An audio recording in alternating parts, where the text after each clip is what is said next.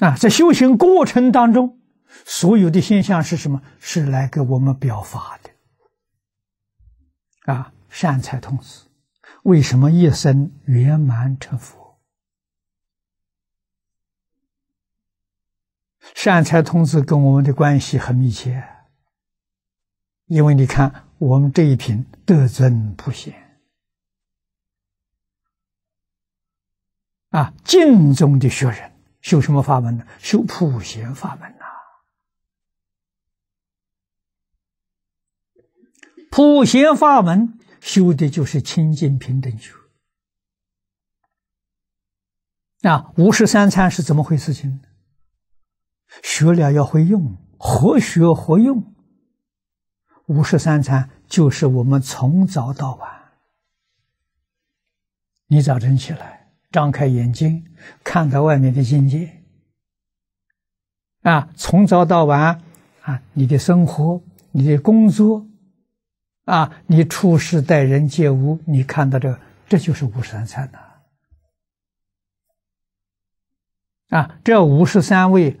菩萨代表，男女老少各行各业，啊，都在你面前表演，看你在这个地方修什么，修如如不动，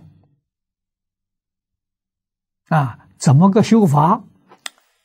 抓住一句阿弥陀佛，我心里头只有阿弥陀佛，除阿弥陀佛什么都没有。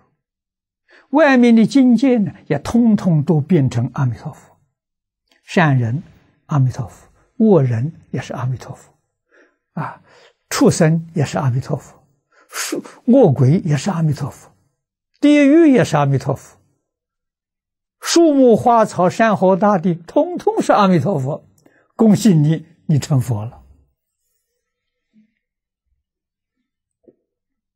啊，内心阿弥陀佛。外面境界全都变成阿弥陀佛了，是境随心转嘛？我们为什么转不过来呢？这个我喜欢，那个我讨厌，转没转过来？你还是反复。真正学会了，人人都是善财，人人都是一生圆满成佛，尤其是净土，不得了啊！所以这个道理不能不懂啊！啊，善财童子教我们何学何用啊，《华严经》有圆满的理论，有周密的方法。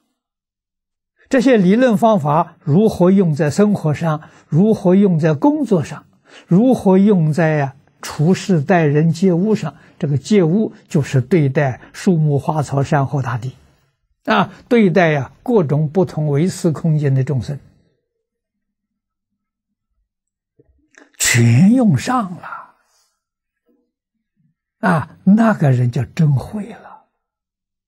啊，像宗门里面老师常常看一眼学生，会吗？啊，会了，全用上了，会了。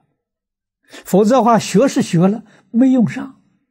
啊，日常生活还是烦恼习气当家做主，啊，那就没法子了，没法子慢慢来，总有一天你学会。啊，所以现前学会的人，说实在的话，也不是他一生学佛，一生学佛哪有那么快呀？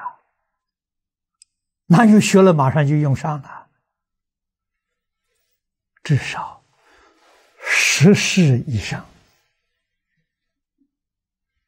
啊，十世是最少的。你过去生中学佛有十世啊，啊，你才有这一点善根，啊，有这么一点福德，学了懂了，啊，真懂了，明白了，会用了，啊，用在生活上，你怎么会不快乐呢？啊，法喜充满呐，长生欢喜心呐，就这个道理啊。学佛如是，学世间法也如是。啊，中国世间法以孔孟做代表。啊，孔子、孟子也了不起啊！学而时习之，不亦说乎？哎，他懂得把所学的完全做到，那个习就是做到，也就是我们讲的落实在工作、落实在生活、落实在处事待人接物，他做到了啊，所以他快乐。啊，那个悦是喜悦，喜悦可不是从外头来的，从内心里面生出来的，自信的喜悦，这是真的，不是假的。